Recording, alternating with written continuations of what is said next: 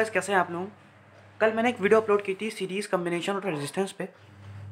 तो उसमें क्या था कि मैंने ये जो फार्मूला ड्राइव किया था इसमें मैंने जब यहाँ तक आए थे I R equals to I R one plus R two plus R three तो इसमें मैंने आई को कैंसिल कर दिया था।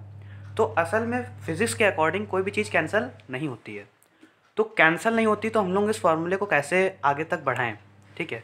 तो इसके लिए एक और वे निकाला गया। एक और वे क्या है? हम लोग ने यहाँ तक जो प्रोसेस था, ये प्रोसेस इसको हटा दिया। इसको हटा के क्या किया? हम लोग ने यहाँ पे भी आई आर की वैल्यू पुट की सॉरी वी की वैल्यू हम लोग ने यहाँ पे भी पुट की और यहाँ पे भी पुट की।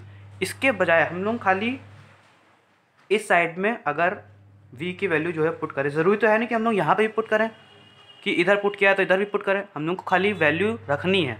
तो हम लोग ने खाली इधर साइड में रखी। तो I R one R two plus I R three ऐसा हम लोग ने किया।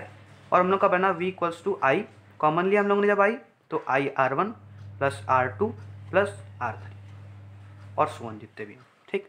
अब हम लोगों ने क्या किया? आई को अपॉन में लेके आए। तो V upon I equal R one plus R two plus R three और सो अब हम लोगों ने क्या जानते हैं कि ओम्स लॉ से वी अपॉन आई क्या होता है? आर तो इससे हम लोगों का रेजिस्टेंस का सीरीज़ कम्बिनेशन ऑफ़ रेजिस्टेंस का फॉर्मूला निकल आता है। तो ये फार्मूला भी आप लगा सकते हैं। इसमें हम फिजिक्स का लॉ भी फॉलो हुआ है कि कोई भी चीज़ कैंसिल नहीं होती है।